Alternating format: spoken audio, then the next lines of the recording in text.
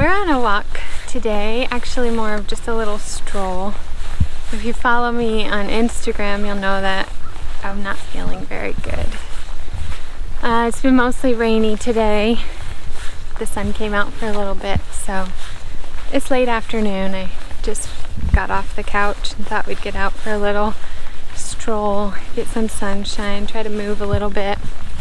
I um, just want to be real with you guys because I think so many of you think our lives are perfect and I just want to be completely transparent with you and tell you that they're they're not perfect. Nothing nothing about us is perfect. No one's perfect.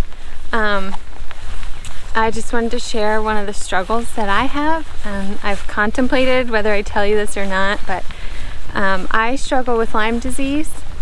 I have, let's see, I got bit by a tick about five years ago. I got the nasty bullseye, it got really big. I was extremely sick initially.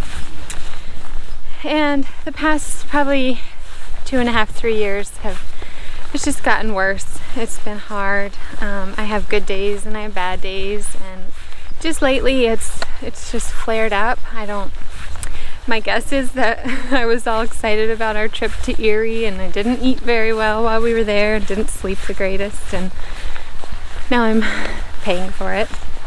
But I wouldn't trade that. We had a great time. Um, so yeah, I just wanted you to know, I mean, Lyme disease is a huge topic in our area. Um, I think central Pennsylvania is one of the highest areas for it. Unfortunately, doctors don't really want to delve into it. And so it makes it hard to be treated or get any help really. Um, so I've started, been doing my own thing and reading and um, you know, like I said, working on my diet and trying to get sleep, um, but just deal with a lot of pain um, and fatigue and it gets a little overwhelming at times. I actually had to call off work today because there was just no way I could make it. But um, yeah, I just wanted you guys to know that, um, you know, we're not perfect. We have good days and bad days and that's just something personally I've been dealing with.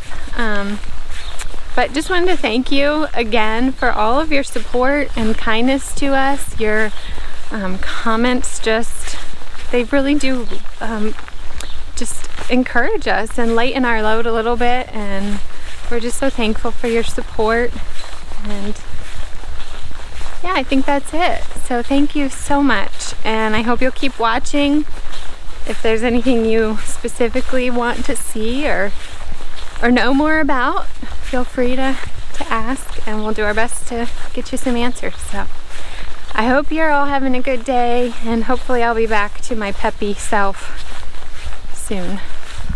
All right, we'll see you later. Yeah, when she's not feeling good, it's hard because she's she's the glue in this family. So, um, just wanted to share that. I only have one thing to say. What you doing there?